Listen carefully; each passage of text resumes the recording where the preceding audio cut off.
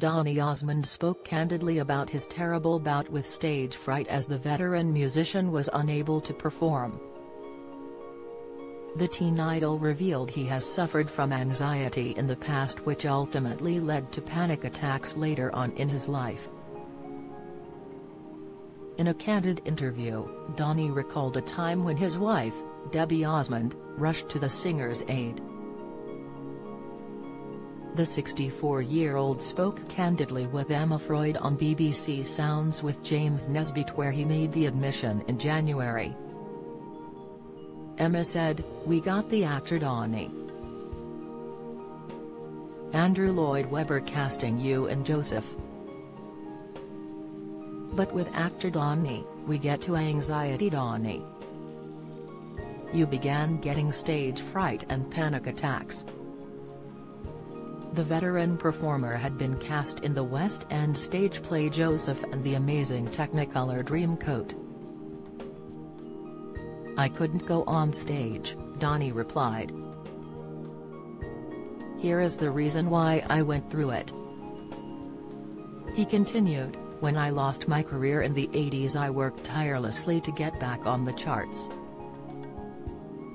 When Joseph and the Technicolor Dreamcoat became a massive success I did not want my career to fail again because I knew what it felt like. I just got out of it, he went on, so I had to be perfect? And if I didn't give a perfect performance I would beat myself up because I thought people are going to walk out of the theater because it wasn't worth the price of admission. Debbie came to the singer's aid as she offered him some life-changing advice. My wife at one time, when I was going through a terrible bout, she turned to me and said the best thing she ever could have said or any psychiatrist could have said, he mused. She said, why don't you do yourself a favor, do the audience a favor. Go out there and just do an average show tonight. Stupid W. Kerr. Kirsty Allsopp unleashes as she's mocked over NHS latest Kate Garraway looks regal in same dress Princess Beatrice wore on GMB Pictures Britney Spears' ex-husband charged after gate-crashing wedding updates, that was the best show I ever did. Donny went on to explain he is now fully focused on his Las Vegas residency which has proven to be a huge success. The Osmonds star also compared his career to that of Michael Jackson after the teen idol suffered a dip in popularity in the 80s.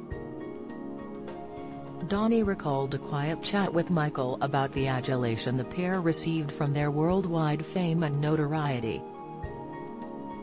He said, Michael, Jackson, and I talked about it a lot because we were compared back in the 70s a lot and then he kind of left me in the dust in the 80s. But we would talk about this teen idol sensation that we were both going through. We were just two little teenagers loving going into the studio, recording hit records. Donny's career hit a lull in the 80s following his success as a teen, while Michael soared with the release of Thriller but he explained the pair's friendship continued to go from strength to strength.